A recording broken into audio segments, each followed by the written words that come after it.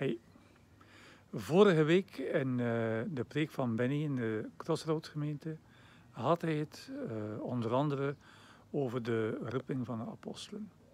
En in Johannes 1, vers 35 zien we dat die eerste ontmoeting plaatsvond, uh, terwijl dat Johannes de Doper actief was. En zij bevinden zich daar in dat gezelschap.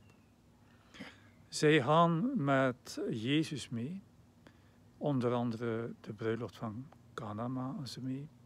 Ze reizen naar Jeruzalem samen met Jezus, maken van alles mee. Het paasfeest wordt gevierd in Jeruzalem. Ze reizen verder in Juda, Samaria, maken intussen van alles mee. Maar wat een beetje eigenaardig is, is dat ze in die periode, tot het moment dat Jezus hen ook roept in Matthäus 4, vers 18, bleven ze vesten. Ja, dat was een job, ze bleven dus gewoon vesten. En ik kan me inbeelden dat ze na het vesten ook gewoon naar huis gingen. En dan pees ik, maar wat voor vinden ze nou eigenlijk van? Ze maken dan met Jezus van alles mee en toch leiden ze hun leven gewoon verder. En het duurt eigenlijk toch wel een tijdje tegen dat ze volledig met Jezus meegaan. En dan denk ik, ja, maar wie zijn wij? Hoe leven wij? Ook wij hebben een ontmoeting met Jezus gehad.